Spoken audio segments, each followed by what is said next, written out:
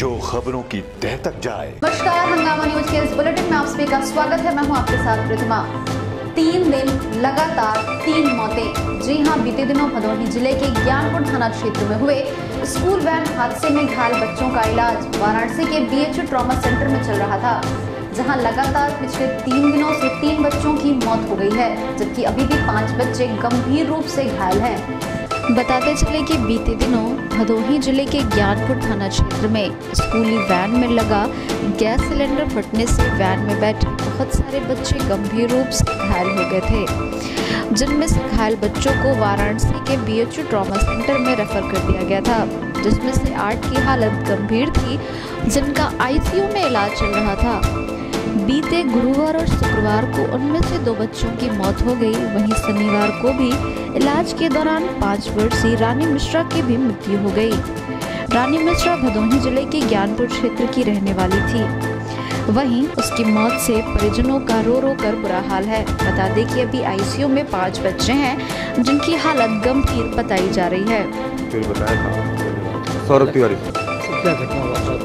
वही जो घटना हुआ था कि जो स्कूल सभी स्कूली बच्चे थे स्कूली बच्चों में उस बैन में बाईस से तेईस बच्चे थे टोटल ऐसा तो होना नहीं चाहिए था कि एक बैन में, और उसका पहली चीज़ तो रजिस्ट्रेशन नहीं है, और दूसरी चीज़ उसमें गैस सिलेंडर से कोई बैस बच्चों के साथ या बच्चों के साथ खिलवाड़ हो रहा, चाहे कोई स्कूल हो, चाहे कोई बनारस हो, चाहे भदोही कहीं कोई डिस्ट्रिक्ट का हो, सारे बच्चों के साथ खिलवाड़ हो रहा है, और गैर लाइसेंस के तौर पे स्कूल जो चल रहे हैं, वो भी बहुत खतरनाक है कि उनकी लाइसेंस नहीं है, और गार्जियनों को भी पढ़ाया जा रहा है उल्टा सीधा बताया जा रहा है तो ऐसे कभी ना हो भविष्य में जो ऐसी घटना हुई ऐसे दोबारा किसी के साथ ना हो इससे हमें गवर्नमेंट से ही हमें गुजारिश है कि ऐसे स्कूल ऐसे बस ऐसे को सब पे बैन लगाया जाए। आपके भी कुछ परिवार के यहाँ लोग? हाँ हमारी भांजी है जो आज इंस्पायर करके कल इंस्पायर करके रानी मिश्रा थी। तब स्कूल पर कार्रवाई हो करना चाह रहे हैं आप?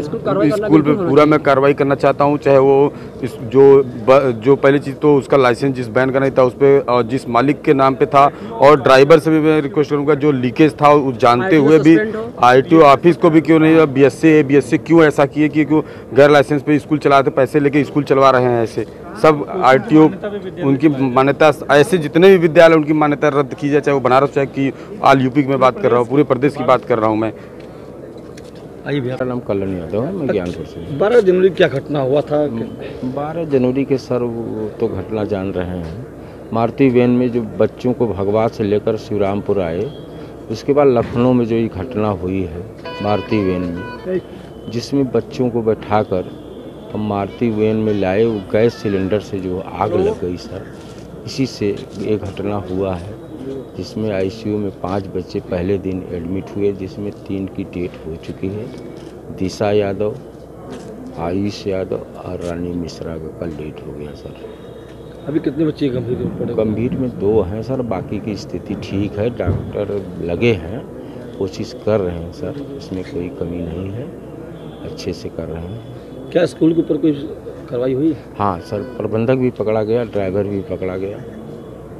तो क्या इसमें प्रशासन गलती मानते हैं कि ऐसे स्कूली वाहन में जी सर इसको इसको बीएसओ को देखना चाहिए। बीएसओ ने जो इतात माने जाँच में डेढ़ सौ विद्यालय भदोही जनपद का बंद किया है।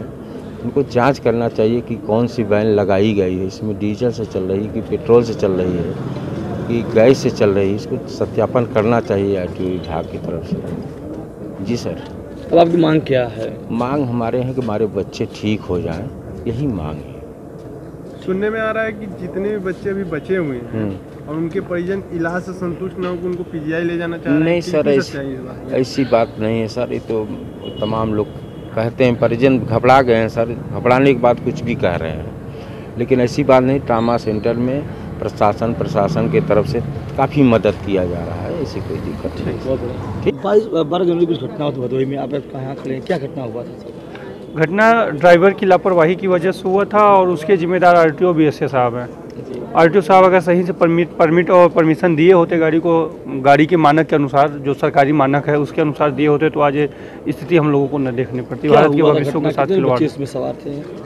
बच्चे तो 45 45 40 40 भर के आए जा रहे हैं लेकिन उस समय 19 बच्चे थे क्योंकि उसके बाद हो और गाँव से बच्चे को उठाना उससे था तो 19 बच्चे में सब लोग जल गए थे। सभी लोग जल गए थे। तो कुछ बच्चों को ट्रामा सेंटर लाया गया जिसमें किसी बच्चे की मौत भी हो चुकी है? मौत हो चुकी है मौत सिर्फ़ शासन प्रशासन की लापरवाही की, वजह से हुआ है। यहाँ का जो सिस्टम है सिस्टम सही से काम नहीं कर रहा है। बच्चों के साथ जास्ती किया जा रहा है। कोशिश किया जा रहा है कि अपने आप से निकल के चले जाएँ।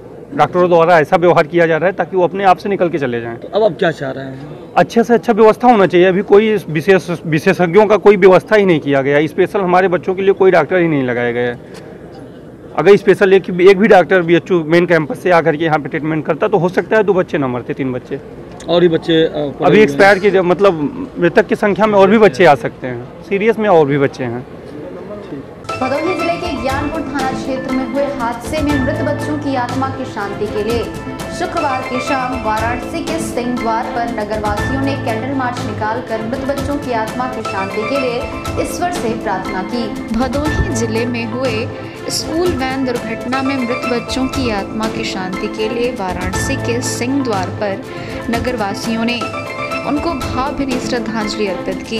इस दौरान नगरवासियों ने दो मिनट का मौन रखकर मृत बच्चों की आत्मा की शांति के लिए ईश्वर से प्रार्थना किया।